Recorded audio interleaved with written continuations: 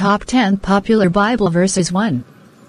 John 3:16 For God so loved the world that he gave his one and only Son, that whoever believes in him shall not perish but have eternal life. 2. Jeremiah 29, 11 For I know the plans I have for you, declares the Lord, plans to prosper you and not to harm you, plans to give you hope in a future. 3. Romans 8:28 And we know that in all things God works for the good of those who love him, who have been called according to his purpose. 4. Philippians 4:13 I can do everything through him who gives me strength. 5. Genesis 1 1 In the beginning God created the heavens and the earth. 6. Proverbs 3 5 Trust in the Lord with all your heart and lean not on your own understanding. 7.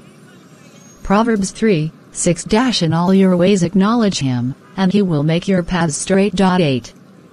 Romans 12, 2 Do not conform any longer to the pattern of this world, but be transformed by the renewing of your mind. Then you will be able to test and approve what God's will is, his good, pleasing and perfect will. 9.